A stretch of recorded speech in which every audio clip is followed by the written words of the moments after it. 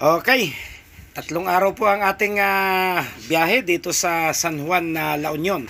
Simulang December 30 hanggang January 1, 2023. So ito po yung ah, one year in three days. Taong 2022 tayo umalis ng Maynila. Babalik po tayo ng 2023. Three, two, one.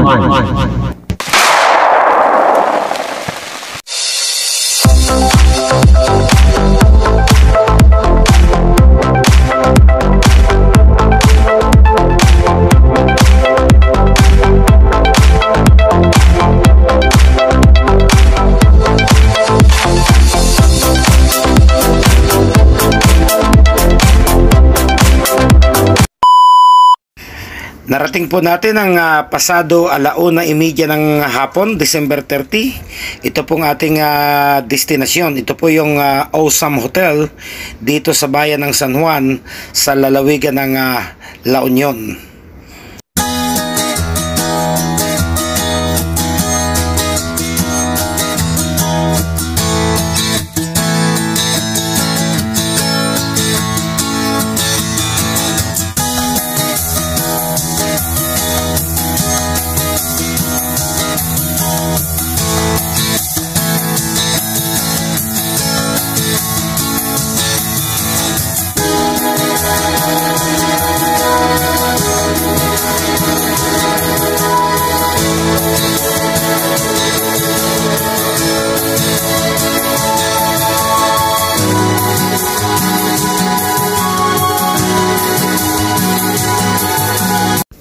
Kinabukasan, gumising po tayo ng ah, madaling araw. Naglakad-lakad po tayo patungo ng ah, palengke mula doon sa ating ah, resort na tinutuluyan. At ah, ito po yung kanilang ah, napakaganda at napakaliwanag na plaza dito sa bayan ng ah, San Juan. Ito po yung mismong patio ng kanilang ah, simbahan.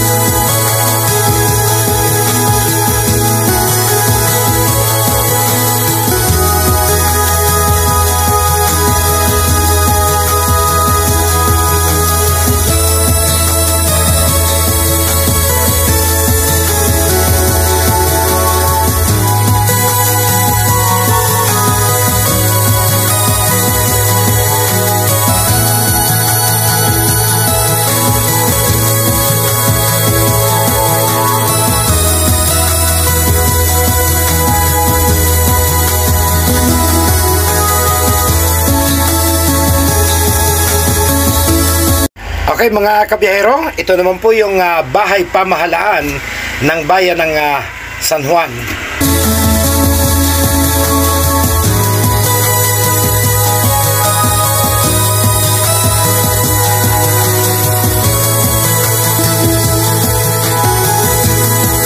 Kung pagmamasdan po natin ang ah, ilang istrukturang natitira pa dito sa bayang ito ng San Juan ay masasabi nating ah, ang bayan pong ito ay isa na ring ah, antigo o matandang ah, bayan dito sa Pilipinas.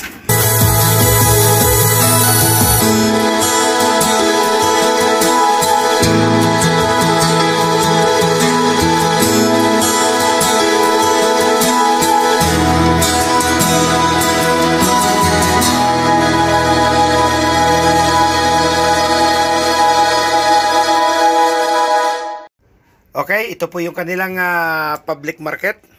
Madilim-dilim pa po. At ah, tayo po ay ah, papasok sa loob upang ah, tumingin kung ano po yung ating ah, pwedeng lutuin. Dahil ah, kahit nasa biyahe po tayo, eh, kailangan din naman po nating ipagdiwang ang bagong taon mga kabiyahero.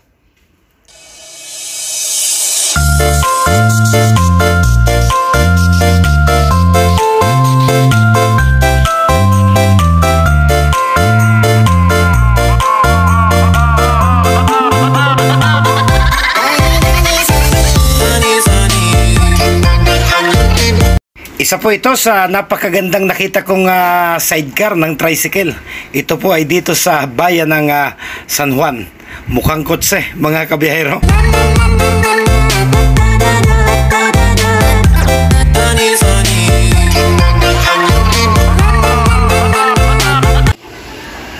Mukhang hindi magha-holiday po kung dami ng tao yung ah, pag-uusapan. Ito po yung ah, sitwasyon pa sa ngayon dito sa public market ng bayan ng ah, San Juan. O baka naman napaaga lang po tayo ng ah, dating. Native na sibuyas yan, ha, di ba? Ha? Native na sibuyas yan eh. Ha? 80. 250 siya may sa kilo, dito 80 din eh. 250 isang kilo niyan, may dahon. So, yung, actually, yung sibuyas 600, pero walang makakain dito. Kunan lang yung 600. 380 yata sa Manila ngayon. eh. Ay, wala. At kami nila ngayon, sugi namin pupunta rito eh. Tinuka natin dito oh. Ito, pupunta Manila. 190 lang.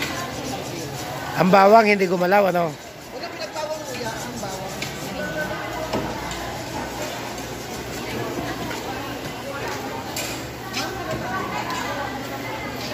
Ano ba, bibilihin natin? Ah,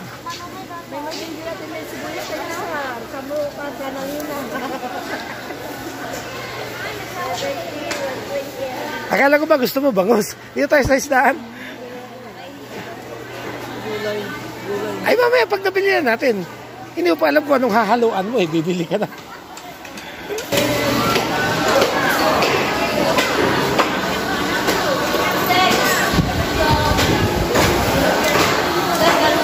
Hindi pa, tingin-tingin mo na. Ano guys? Bakol. Damo bakol. Arin guys sir. Magkano raw kilo? Ni dabupan. Ispan. Magkano kilo? Naloko na. Inilokano na tayo. Paano natin maiintindihan yan? Dagat yan. Ispan. Ito. Uh, sa, sa dagat yan. Iitin mo. Kami tawag mo siya. 400 kilo. Ano siya, balang naman natin. Masarap na isda.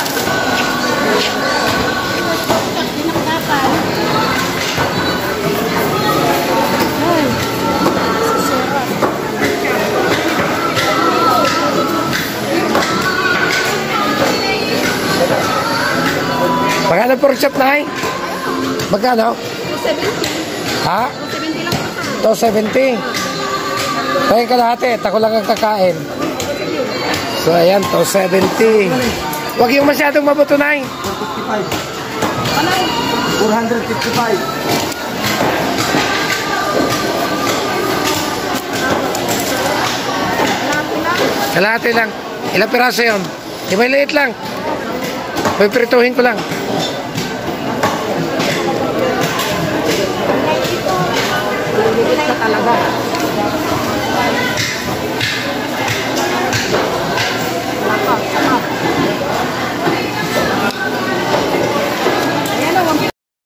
Kakaiba po dito. Kahit pork chop po yung iyong ah, binili ay mayroon po silang dinadagdag na dalawang supot ng ah, sausawan daw po ito yung niluto na nilang ah, dugo. Templado na.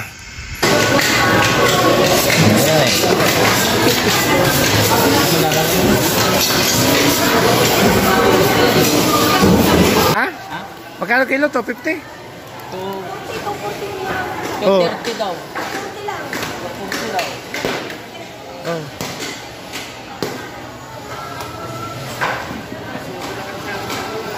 Pero ano to, aking guys to?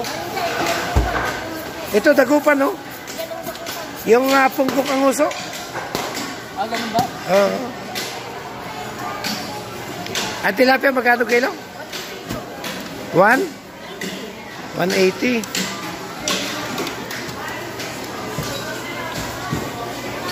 Nililinis nyo na? Yung ka- kinakalis kisa na? Ha? Yan tilapia.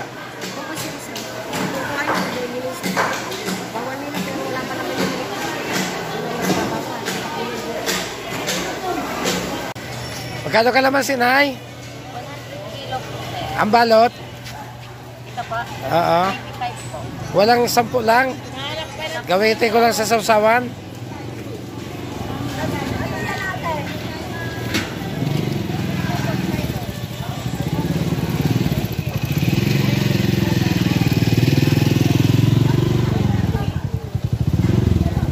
Ayan, 10 piso.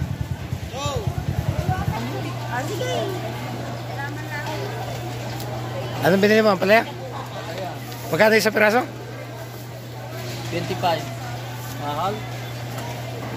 Ay, ito? Ito yung ano, yung native. oh, yung iyong ang palaya.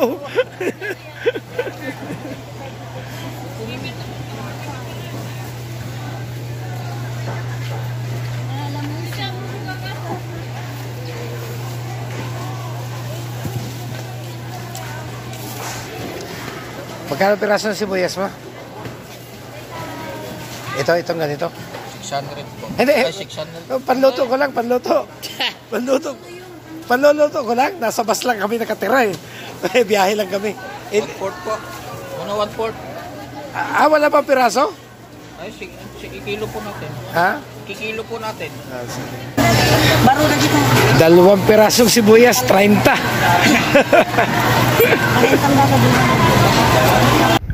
Okay, balik na po tayo sa ating ah, pinanggalingan.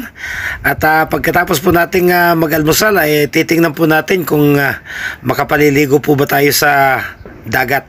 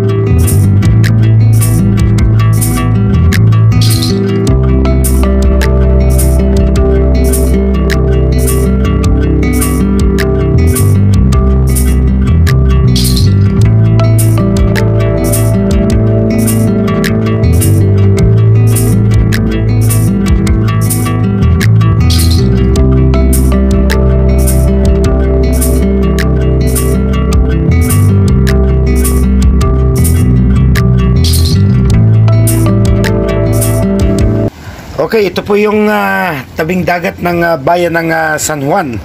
Pero kung mapapansin po ninyo, kahit marami po ang guest, ay napakadalang po ng taong lumulusong sa dagat. Napakalalaki po ng alon. Siguro ito po yung ah, dahilan kung bakit sinasabing ah, surfing capital itong bayan ng ah, San Juan. Ang lalaki po talaga ng alon. Okay,